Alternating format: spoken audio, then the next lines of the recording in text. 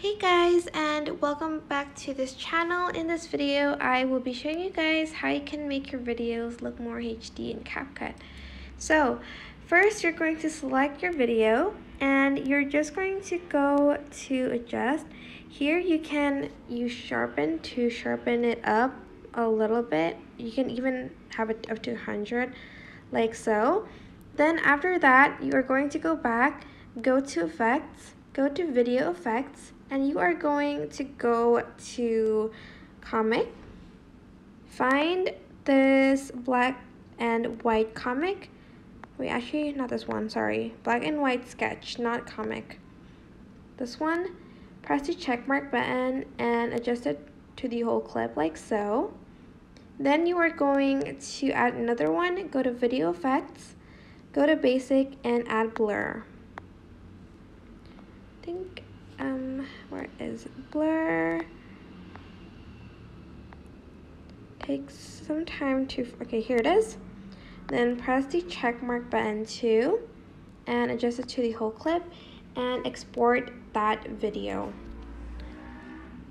And then after it has been exported you're going to go back to the same project go to the black and white sketch and press delete go to video effects, go to comic, and choose this neon one.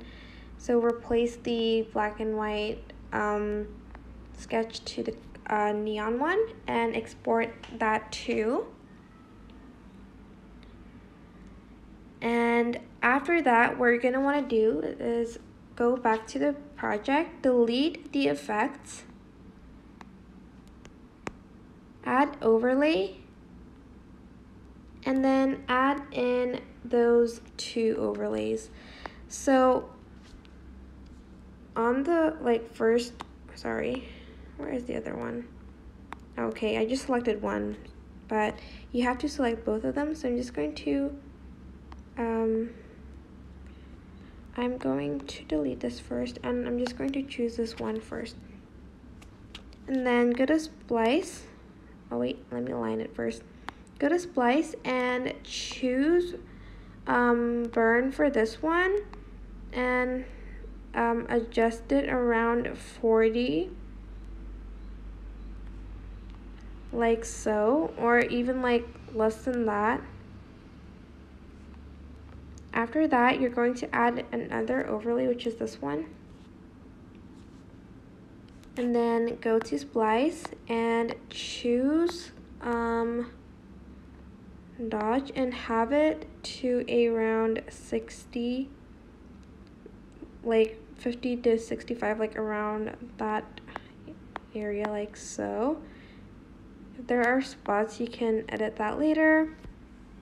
And now um, you can adjust the color settings so again, go to the video and press um, adjust. You can adjust it yourself, like the brightness and stuff, if it's too bright.